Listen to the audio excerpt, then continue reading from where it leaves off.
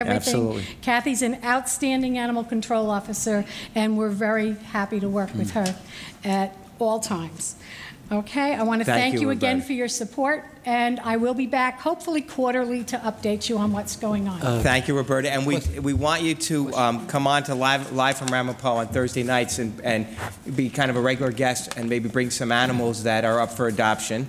I particularly like Romeo, uh, who was uh, in here in September. I know Fran liked Romeo, but I do want to note that the November calendar, um, the name is Dino, and it looks strikingly like Dino at Airmont Diner. Has exactly the same eyes as Dino, but I don't know if he's got as good a golf swing as Dino does. So, uh, There I will talk to him about that. there goes his free cups of coffee. Uh, Right.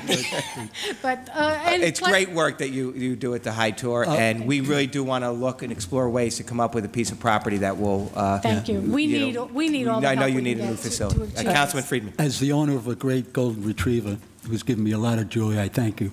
Uh, Not to, to switch gears, you know the disposition of the charges against the lady with, that had all I these? do understand that the police department went ahead with charges for some reason, uh, for, I I don't know what reason. Anim- uh, The Humane Society didn't pursue the charges, but the town, the town police have now, which I think Uh-huh, is only okay. fitting. It's a very sad situation Yeah. all the way around. There's no, no, no happy ending here, where obviously this was someone who had cared for her animals for a long time, and obviously was no longer able to do so. Yeah. So, thank you again. Thank, thank you, Roberta, and thank you for the calendars, and it's a great idea, and and we want to be able to participate more next year on that as well. Great, thank you Thank you. very much. Any of them have bathing suits on? No? Uh, is- uh, Mr. Ro- Romanowski, come right up.